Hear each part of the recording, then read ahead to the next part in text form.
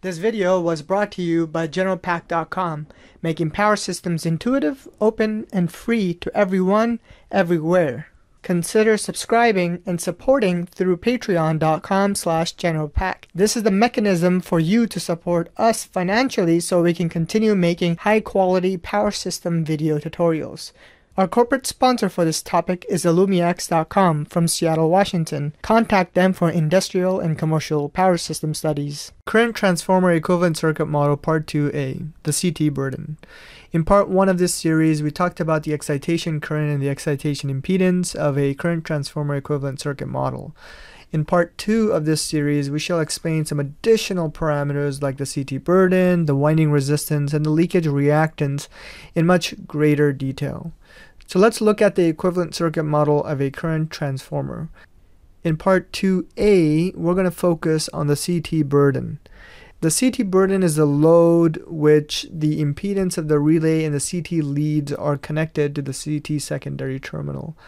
Uh, it is generally represented by ZB and expressed as volt amperes or ohms. Uh, this CT burden is independent of the current being produced in the CT uh, secondary winding. Now, the CT burden always plays an important role and must always be present when the CT is being used. If there is no burden that's present, then that is similar to an open CT condition or open circuit CT condition. This is where a large voltage will build up across the secondary winding terminals and there will be no magnetic field which opposes the primary side magnetic field. And this will cause the CT to get saturated prematurely and will produce extremely high voltages, voltage magnitudes on the CT terminal, which is extremely dangerous. So the so the CT burden must always be present. Okay. Now let's apply the Kirchhoff's voltage law, the KVL, around this loop of the CT equivalent circuit. So we have minus VE plus IS times RS plus XL plus VB equals 0, right?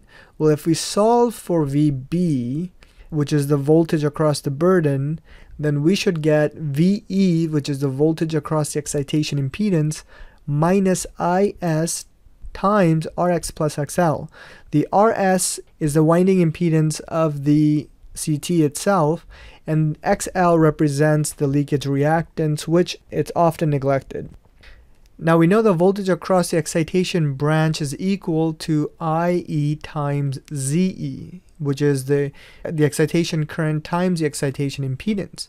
So our equation can be rewritten as VB, which is the voltage across a burden, equals IE times ZE minus IS times RS plus XL we can easily see that when the voltage across the CT burden is low, the excitation current is also low, meaning that the voltage across the burden and the excitation current, which is considered to be the CT error, are proportional. On the other hand, if we keep adding more burden to the secondary CT, then the flux excitation current in the CT core will also increase.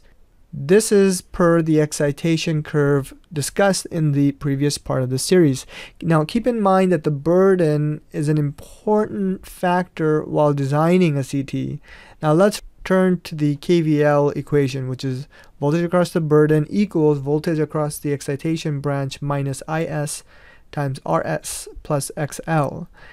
A large CT burden causes an increase in the secondary terminal voltage Vs and relatively increases the excitation current IE.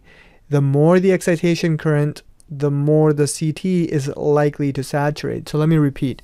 The more the excitation current, which is the current that's going through the excitation branch, the more the CT is likely to saturate, which is a big problem. Now, the CT burden is an important parameter for power system protection. Protection engineers need to make sure that the CT can handle the worst case fault condition. Furthermore, protection engineers must make sure to calculate the aggregate burden impedance.